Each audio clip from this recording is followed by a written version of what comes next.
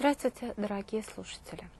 Сегодня мы с вами продолжим нашу беседу о Марине Цветаевой и вернемся к той части ее жизни, когда она оказалась в разрушенной Москве одна с двумя детьми, ожидая Сергея Ефрона, своего мужа, которого она проводила в Белую армию на Дон.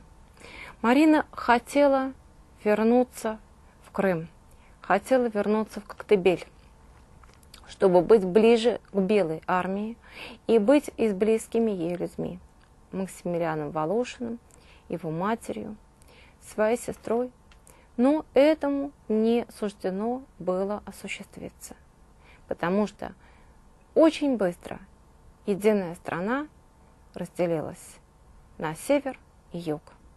Север красный, юг белый.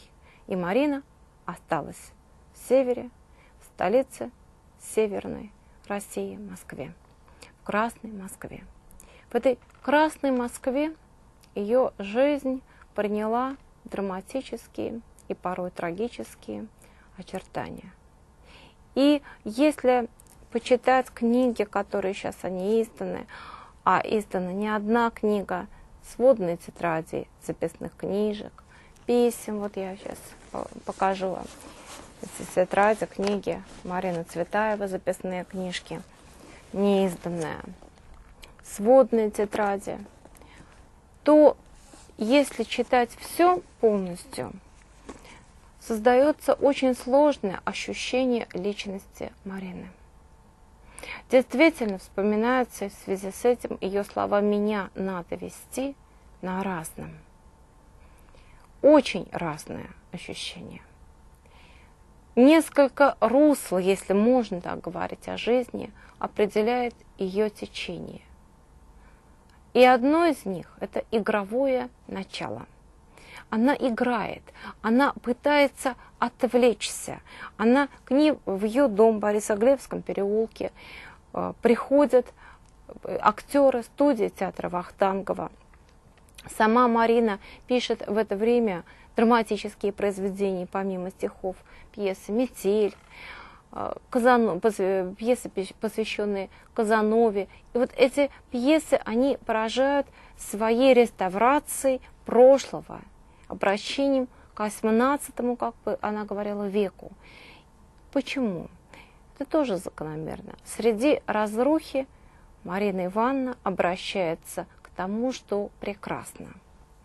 И вот эти красивые пьесы, красивые, порой игровые стихотворения, они тоже связаны со страшной жизнью разрушенного города, со страшной жизнью, которую вот вы видите на экране, это Москва того времени. Здесь Марина, по сути дела, пытается забыться. Она примеряет на свое измученное страданиями лицо разные маски, разные актерские маски. И отсюда столь сильная струя актерства. Вот, например, Марина пишет стихотворение Юрию Завадскому – одному из актеров студии МХАТа, э, студии Вахтангова, потом известнейшему режиссеру. Вы столь забывчивы, сколь незабвенны.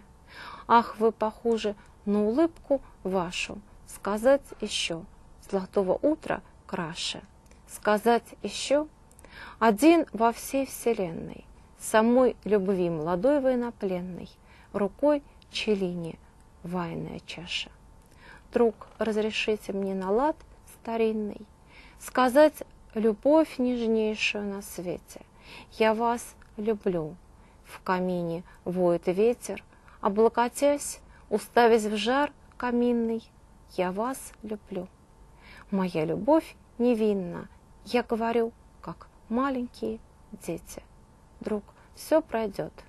Виски в ладонях сжаты, жизнь разошмет — Молодой военнопленный, любовь отпустит вас, но вдохновенный всем пророкочет голос мой крылатый о том, что жили на земле когда-то вы, столь забывчивый, сколь незабвенный. Вот это очень красивые строки, очень далеки от разрухи и того внутреннего горя, в котором находится душа Марины. Каждую ночь ей снится Сергей, и об этом тоже она пишет в своих записных книжках. Каждую ночь разговариваю с Сергеем.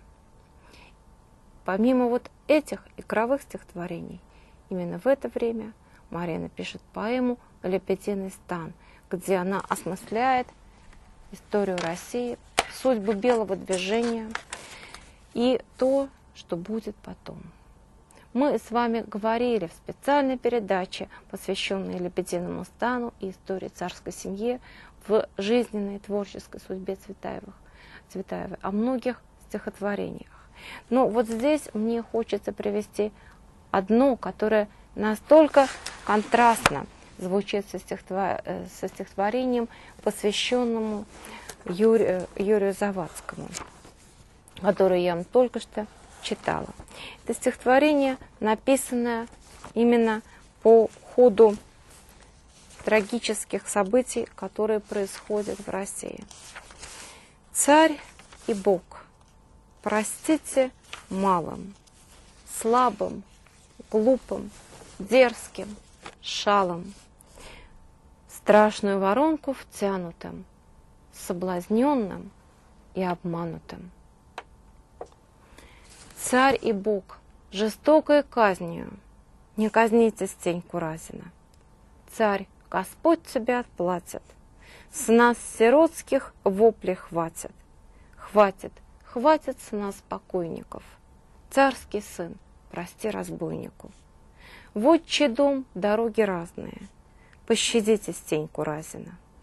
Разин, Разин, сказ твой сказан.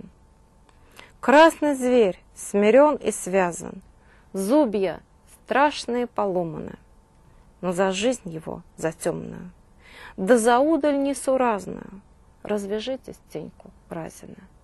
Родина, исток и устье, Радость снова пахнет Русью, Просияйте очи тусклые, Веселейся, сердце русское, Царь и Бог, для ради празднику, Отпустите стеньку Разина. Здесь жалость, конечно, несомненная к народу, обманутому, втянутому в страшную воронку, соблазненному и обманутому. И четкое осознание того, что он соблазнен и обманут. Первая годовщина октября – Москва, помета Марины Цветаевой. Тогда, когда написаны эти стихи. И вот на фоне игры возникает сокровенное, глубинное, не возникает, а живет, продолжает жить сокровенное, глубинное и очень серьезное. А игра – это и увлечение многими людьми, как мужчинами, так и женщинами. Записи Марины Ивановны испещрены рассказами о том, с кем она дружит, с кем она общается, а, кого она, в кого она влюбляется. И вместе с тем полное, постоянное присутствие Сергея, духовное присутствие в ее жизни. Как это может уживаться? Как это могло уживаться в человеке? Это вопрос, а, на который ответ я не собираюсь давать который я ставлю часто сама себе и ответа на него не нахожу. Но это было именно так. Ну, может быть, здесь желание отвлечься от того страшного, в котором душа не может жить постоянно. А то страшное – это весь, э, ожидание вести от Сергея. От него нет вестей, от него нет писем. И вот, например, наряду с ее восторженными письмами Евгению Лану, Вышеславцеву, в записной книжке Марины Ивановны встречается такая запись. Под заголовочек «Молитва». Господи Боже ты мой, сделай так, чтобы я встретилась с Сережей здесь, на земле. Пошли, Господи, здоровья и долгой жизни Але. Спаси, Господи, Асю, Валю и Андрюшу. Спаси, Господи, Сонечку, Галиде и Володечку. Это самые близкие ей люди, Ася, сестра. Прости, Господи, все мои прегрешения. Благодарю Тебя, Господи, за все, если Сережа жив. Дай мне, Господи, умереть раньше Сережи и Али. Спасибо Тебе, Господи, за все. Аминь. И чуть ниже. Последний раз я имела вести о Сереже окольным путем, слухом, 25 марта 19 года в Благовещении. Год без недели тому назад. Спасибо, Бог. Спасибо, Март. Вчера столько счастья. Утром прямое указание от Бога. Простил, но больше не греши. Потом письмо от Сережи. Вечером подкову от Али. Где-то украла. Вот до этого письма от Сережи долго-долго еще, потому что это я забежала чуть-чуть вперед для того, чтобы показать, что Марина при, всем, при всех ее увлечениях его ждала. Ждала тогда, когда писем не было. Еще одна запись, в которой она говорит, что я очень боюсь того, что в Москве уже кто-то знает, что его нет. Вдруг его нет. Вдруг он не жив. А я об этом еще не знаю. Вот в таком постоянном состоянии душа жить не может. И она, не находя внутренней опоры и твердого достаточно стержня, конечно, здесь стержень мог быть только стержень веры. Вот э, Марина этого не находя этого твердого стержня, она отвлекается, она развлекается не в смысле пошлом этого слова развлечение, а в смысле отвлечения от своей постоянной боли. По сути дела, все ее развлечения – это таблетки, которые пьет человек, у которого нестерпимо болит рана. А рана очень глубокая была и еще одна. Мы говорили с вами о том, что у Марины родилась в 17 году дочь Ирина. И судьба этого ребенка трагична. Сейчас мы найдем с вами изображение этой девочки на экране. А, девочка, вот вы видите, старшая Аля, а младшая Ирина. Ирина была так же, как и Аля, вот она, с внимательными глазами. Она была так же, как и Аля, отдана в приют в Кунцеве. Я обязательно сегодня вам зачитаю воспомина... тоже фрагменты из записной книжки Марины о ее приезде в этот кунцевский приют. Марина отдала туда своих детей совсем не для того, чтобы о них не заботиться, как могут подумать Э, современные слушатели. И э, могут действительно подумать, потому что непонятно, как живая мать да, при, отдает детей сама в приют. Но дело в том, что в этом приюте была, как бы теперь сказали, гуманитарная помощь. В Москве был страшный голод. И Марине полагался а, паек, она числилась э, служащей, небольшой паек ей полагался, а, была она и как числилась и писательницей, но, конечно же, это был очень-очень относительный паек. Она отдает своих детей именно потому, что там кормят детей. И это не детский дом, это, э, ну, наверное, можно сравнить с лагерем, куда родители приезжают навещать своих детей. Именно для того, чтобы вот эти две девочки выжили, она отдает Алю Ариадну и Ирину в приют. Отдают не сразу, когда уже дошла до крайности, когда она понимает, что не может их прокормить. Вспоминает, что она кормила почти насильно Ирину, привязывая ее к кровати. Э, кормила пшенной, э, пшенной кашей, та не ела.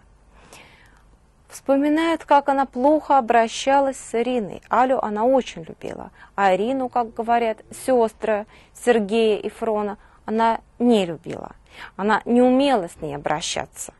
Она э, постоянно была с Алей, потому что Аля, конечно же, была э, гораздо э, взрослее, умнее, одареннее. Ну, о чем здесь говорить, Ирина была просто еще совсем маленьким ребенком, с трудом говорящим. Ирину она привязывала к кровати и уходила вместе с Алей по делам. Вот все это пишут друг другу родственники Сергея Фрона, знакомые. Все это они обсуждают, а, как, насколько Марина не любила своего ребенка.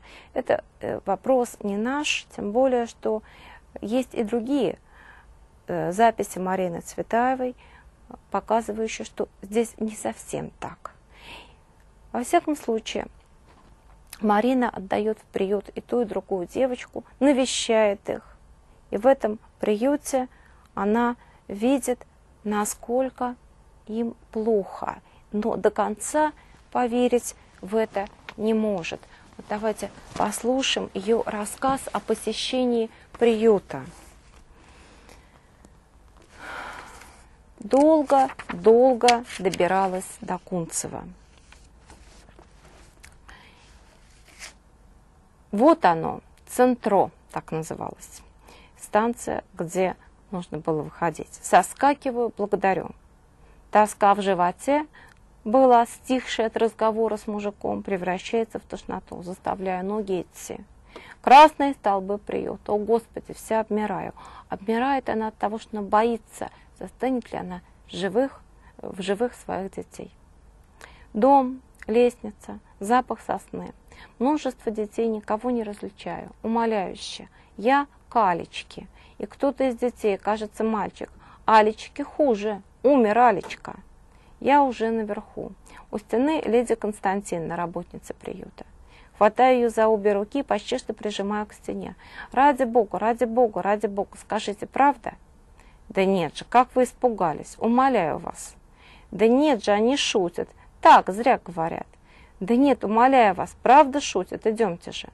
Огромными шагами подхожу к Алиной постели. Бритая голова из-под одеяла, протянутые руки, жива. Аля, ты опять плачешь? Что с тобой, тебе хуже? Очень голова болит и ухо болит. Ее кровать в углу между двух незамазанных окон. Бритая голова, продула. Лежит в одной рубашке, какой-то чужой, сплошные прорехи. Мимоходом замечаю, что пол нынче мыт. Да, она все плачет, все плачет. Вот и голова болит, говорит Лидия Константиновна. С трудом скрывая негодование, даю Але порошок хина. Все упрямилась, упрямилась, а потом послушалась, пошла, рассказывает воспитательница о том, как пошла на обед Аля. Помилуйте, там и завтрак дают, туманные картины показывают. Сначала она все твердила, твердила, что не хочет без «ер» писать.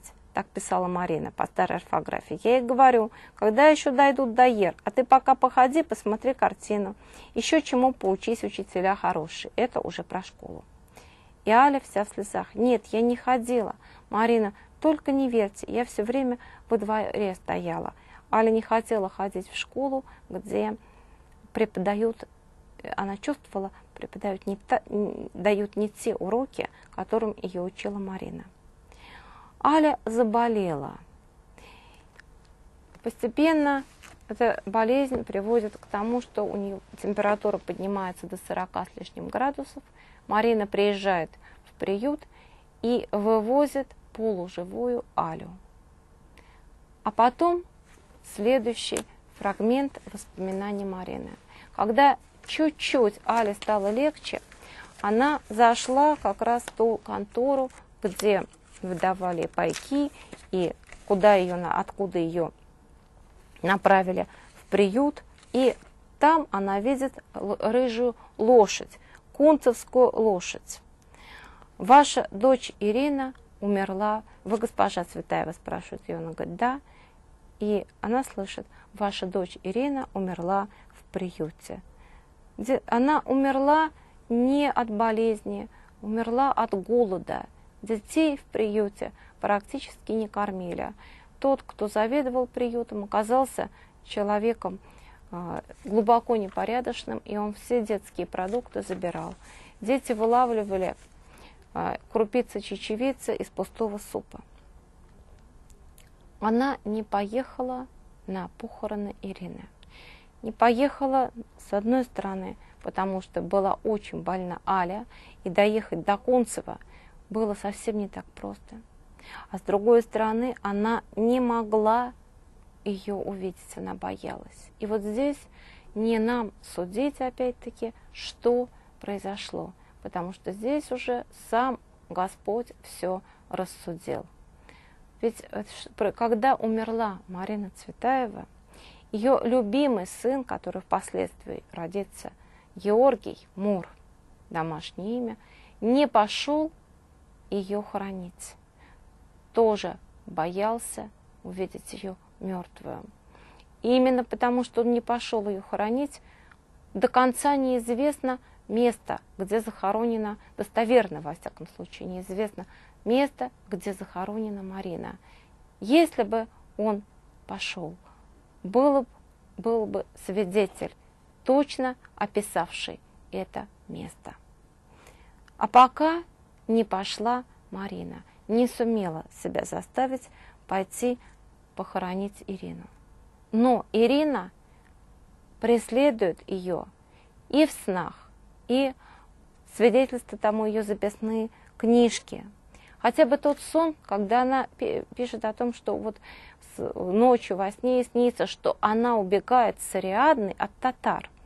Татары в ее представлении, в ее э, внутреннем мире и художественном мире, это та самая новая власть, которая пришла, это те самые новые люди. У нее есть стихотворение «Ханский полон». Вот во сне она, так же как и в жизни, убегает от ханского полона. И татары, а, э, убегая, они попадают в детский приют, где сидит очень приятная женщина.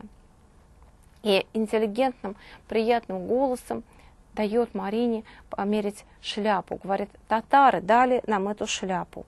И Марина понимает с ужасом, что она не спаслась, что она оказалась страшном детском приюте, который то же самое, что и ханский полон. Вот это ее преследует. В записях она говорит о Ирине. Она снится ей.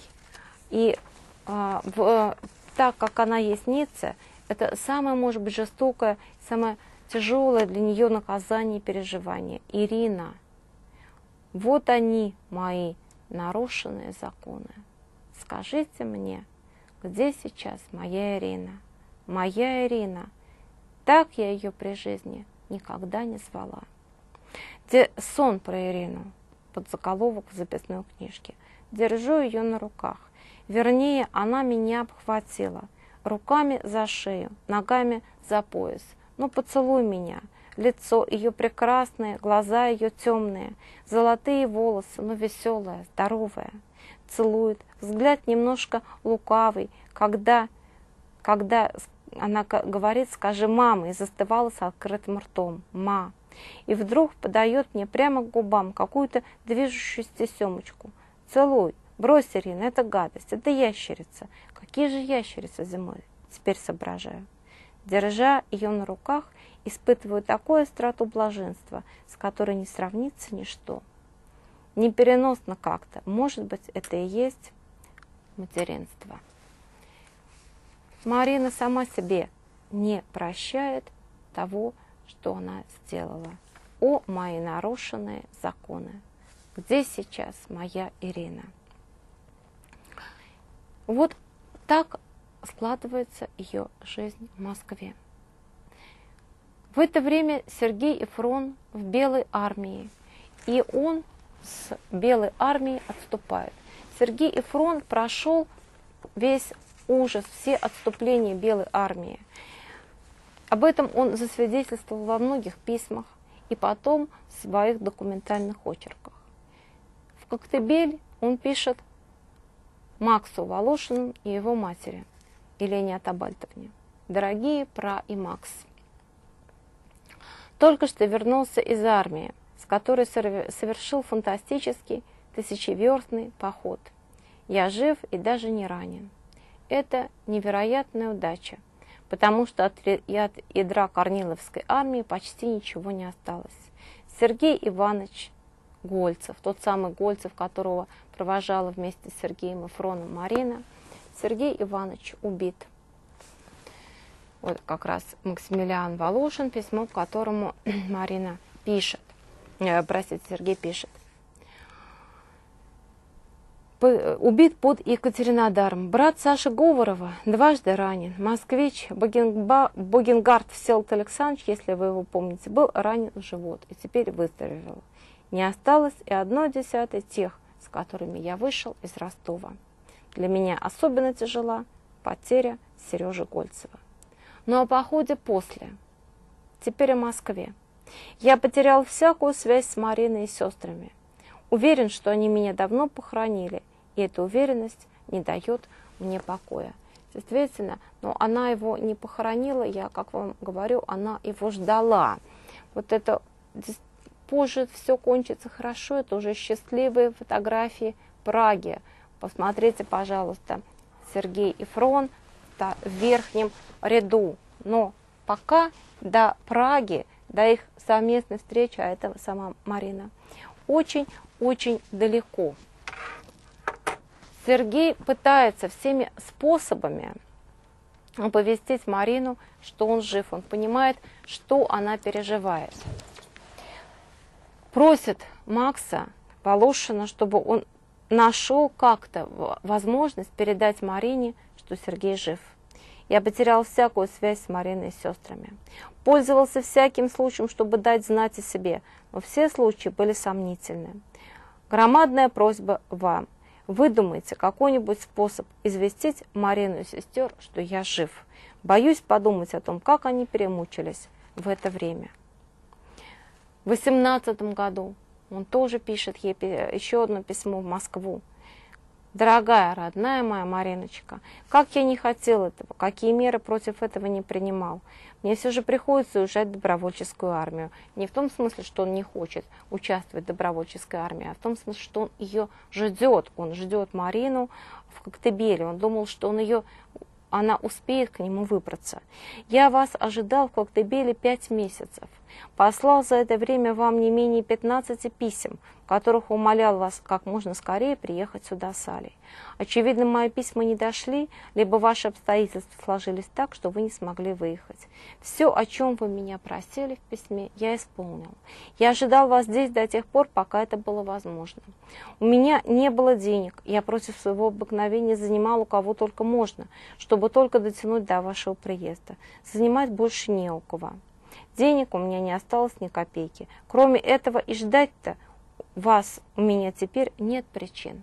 Троцкий окончательно закрыл границы и никого из Москвы под страхом смертных казней не выпускает.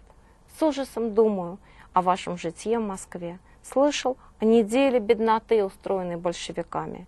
Дай, Господи, чтобы все это кончилось благополучно.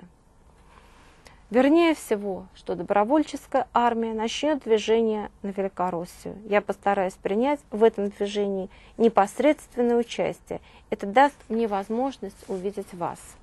Но может случиться, что я попаду против своего желания в отряд, двигающийся в другом направлении. Тогда не приходите в ужас, ежели среди войск, вступивших в Москву, меня не будет. Это значит, что я нахожусь в данный момент в другом месте. Так он старался упредить все возможные события, и насколько все оказалось совсем не так. Ни с какой армии Сергей Фрон не вошел в Москву, а оказался в эмиграции в Праге. И уже спустя несколько лет, в 21 году, Марина Цветаева получает от него то письмо, которое ждет несколько лет. Ждет, потому что верит, что он жив. И вот здесь очень важно еще и то, что еще одно ее замечание о том, зимой 21 года, когда уже совсем мало надежд остается, но тем не менее остается, моя главная забота сейчас – гнать дни. Бессмысленное занятие, ибо ждет, может быть, худшее – Иногда с ужасом думаю, что, может быть, когда-нибудь кто-нибудь в Москве уже знает о Сереже. Может быть, многие знают, а я нет. Сегодня видела его во сне. Сплошные встречи и разлуки. Сговаривались, встречались, расставались. И все время через весь сон его прекрасные глаза во всем сиянии. Вот, по сути дела, так складывается ее жизнь, ее жизнь в Москве. По сути дела, это сплошное ожидание. И то, что она говорит, гоню дни. Она гонит дни, и, наконец, она получает то письмо, которого так ждала. Письмо от Сережи. 27 февраля 2021 года Марина пишет ему. И, собственно, это письмо я тоже читаю, потому что здесь очень важная характеристики, самые характеристики того, что происходит и с ней, и с семьей, с ее домом. Москва, 27 русского февраля 2021 года. Ну, поясню только, что такое 27 русское февраля. Это означает то, что Марина не перешла сознательно совершенно на старый, э, со старого на новый стиль. Так же, как она совершенно осознанно писала с ерами. А, как в дореволюционной орфографии. И это был тоже ее протест. Поэтому она везде пишет, вот, или русская ноября, и вот тем самым помечая старый стиль. Значит, вот послушаем это письмо. 27 русское февраля, 21 год, мой Сереженька. Если вы живы, я спасена. 18 января было три года, как мы расстались. 5 мая будет 10 лет, как мы встретились. 9 лет, 10 лет тому назад. Аля уже 8 лет, Сереженька. Мне страшно вам писать. Я так давно живу в тупом, зазервенелом ужасе, не смея надеяться, что живо и лбом, руками, грудью отталкиваю то, другое. Не смею. Вот все мои мысли о вас. Не знаю судьбы и Бога. Не знаю, что им нужно от меня, что задумали, поэтому не знаю, что думать о вас. Я знаю, что у меня есть судьба. Это страшно. Если Богу нужно от меня покорности, есть, смирение есть перед всем и каждым, но отнимая вас у меня, Он бы отнял жизнь. Мне трудно вам писать. Быт – это все такие пустяки. Мне надо знать одно, что вы живы. А если вы живы, я ни о чем не могу говорить. Лбом снег. Мне трудно вам писать, но буду, потому что одна миллионная доля надежды. А вдруг? Бывают же чудеса. Все, ведь было же 5 мая 1911 года, солнечный день, когда я впервые на скамейке у моря увидела вас. Вы сидели рядом с Лилией в белой рубашке. Я, взглянув, умерла. Но можно ли быть таким прекрасным? Когда взглянешь на такого, стыдно ходить по земле. Это была моя точная мысль, я помню. Сереженька, умру ли я завтра? Или до 70 лет проживу, все равно. Я знаю, как знала уже тогда, в первую минуту, навек, никого другого. Я столько людей перевидала, во стольких судьбах перекостила. Нет на земле второго. Вас. Это для меня роковое. Да я и не хочу никого другого. Мне от всех брезгливо и холодно. Только моя легкая, взволновывающаяся, играющая поверхность радуется людям. Голосам, глазам, словам. Все трогает, ничто не пронзает. Я от всего мира заграждена вами. Я просто не могу никого любить. Вот в этом половине этого письма, в первой половине, вы сейчас мы слышали о том, что Марина обмолвилась о своей легкой, играющей, но все-таки по, играющей поверхности, которая радуется людям, голосам, глазам. Все трогает, ничто не пронзает. Это та самая играющая поверхность, отвлекающая поверхность, отвлекающая от постоянной боли и раны ее жизни поверхность. Вторая часть письма посвящена рассказу о том, что произошло с Ириной.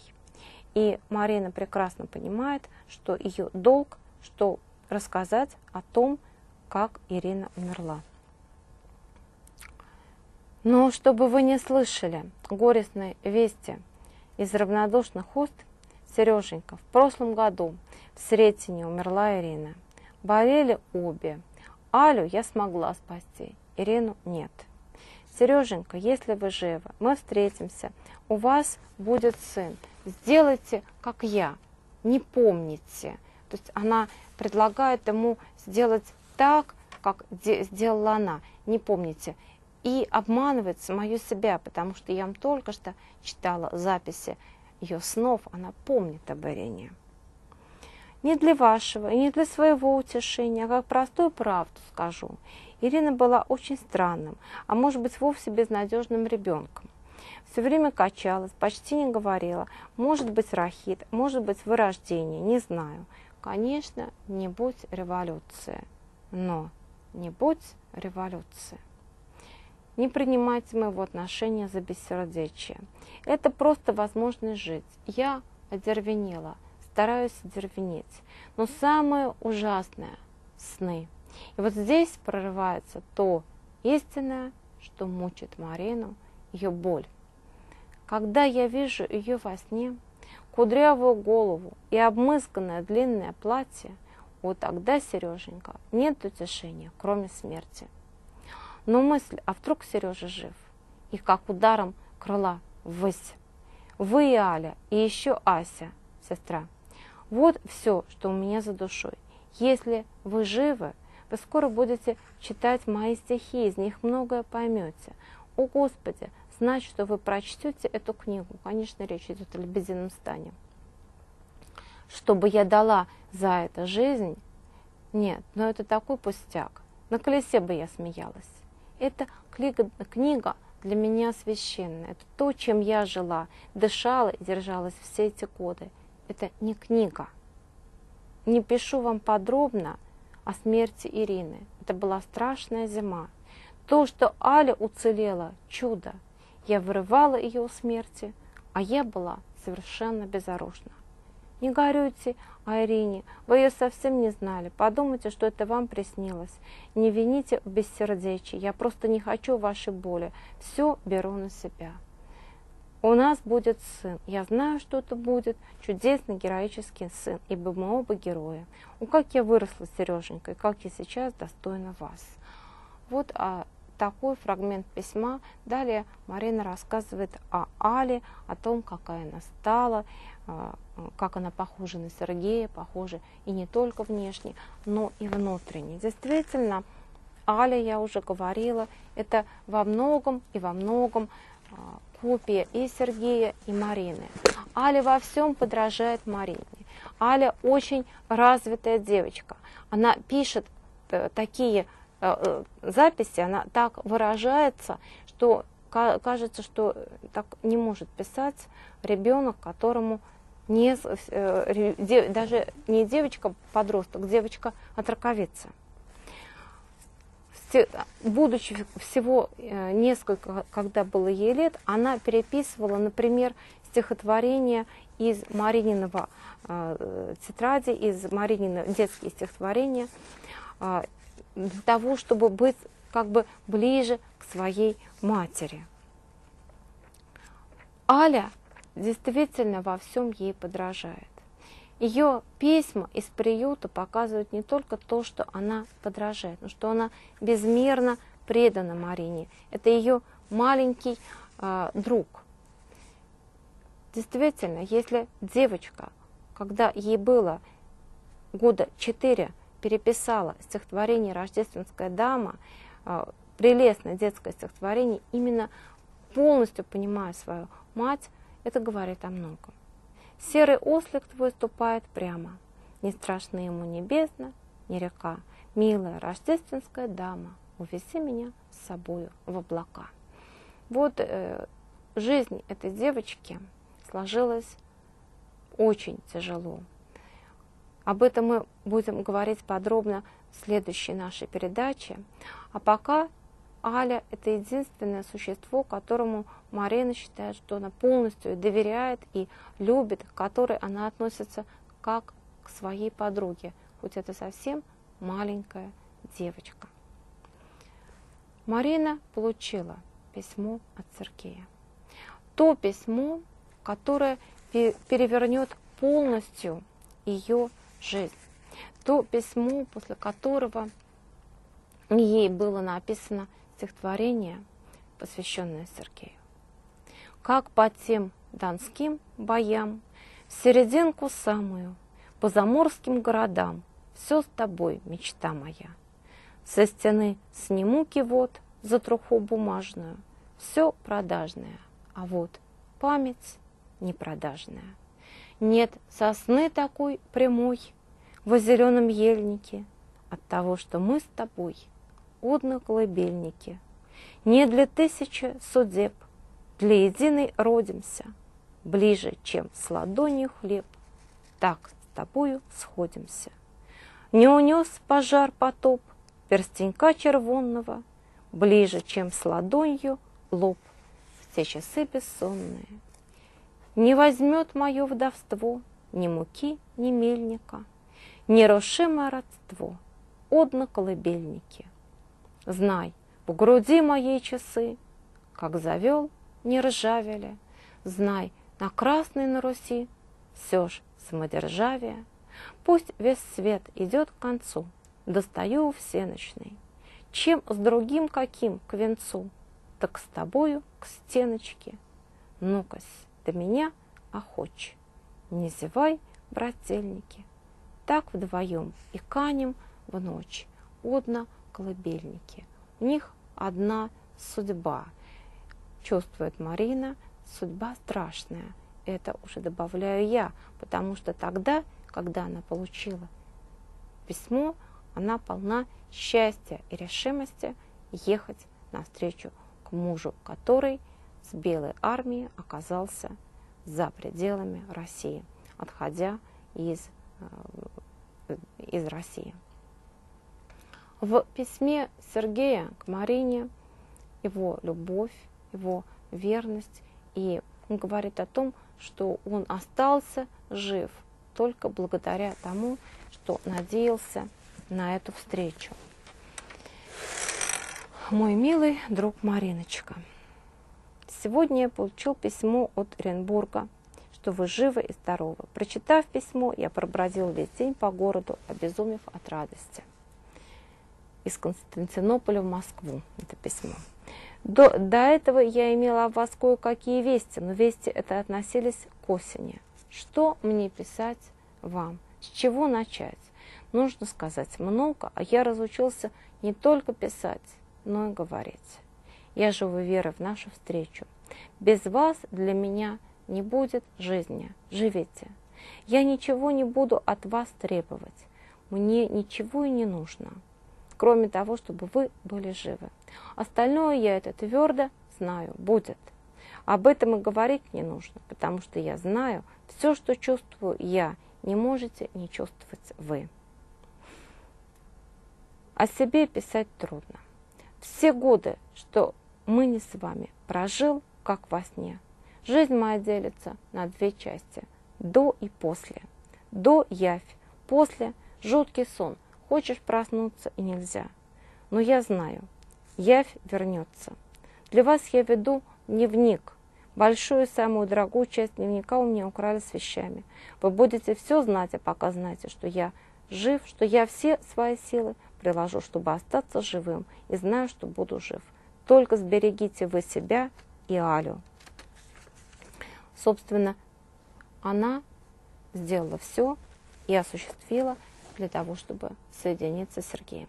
Следующая наша передача будет посвящена тому, как эта встреча состоялась и как дальше развивалась и чем кончилась жизнь Марины. Всего доброго!